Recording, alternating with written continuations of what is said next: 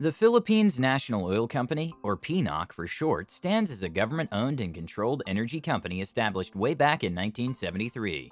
It has been responsible for numerous endeavors pertaining to the exploration, exploitation, and development of all energy resources of the Philippines. It has so far been involved in helping the nation further its independence on energy utilities. Its most profound so far has been the Malampaya Deepwater Gas to Power project, which helped shape the birth of the natural gas industry in the Philippines. It has also founded its own PNOC Industrial Park, which is a 530-hectare property involved in petrochemical and energy-related industries.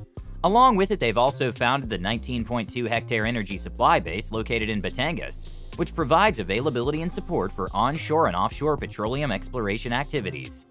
PNOC today has also seen numerous breakthroughs and operates with two subsidiaries, namely the PNOC Exploration Corporation, which is the upstream oil, gas, and coal subsidiary, and has so far seven petroleum service contracts from Malampaya, West Kalamania, East Sabina, and four more. It also houses six contracts with coal operating services.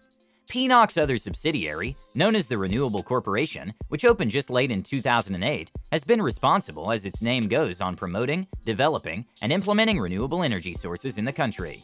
This subsidiary has so far delivered geothermal projects, solar services to government infrastructures, and further developing energy-saving initiatives. PNOC was also previously the owner of what is now known as Petron Corporation, the largest oil refining and marketing company in the Philippines. It had privatized Petron around the 1990s, whereas it had struck a deal with Saudi-based Aramco in the public. As of the 2010s, San Miguel Corporation had acquired the majority stake, PNOC as a public company had been successful. Its annual report of 2021 showed that the company achieved over 1.5 billion pesos in revenue and is currently holding 36.7 billion pesos worth of assets and little to no liabilities. This shows how strong and properly managed PNOC has become. Anyway, what do you think?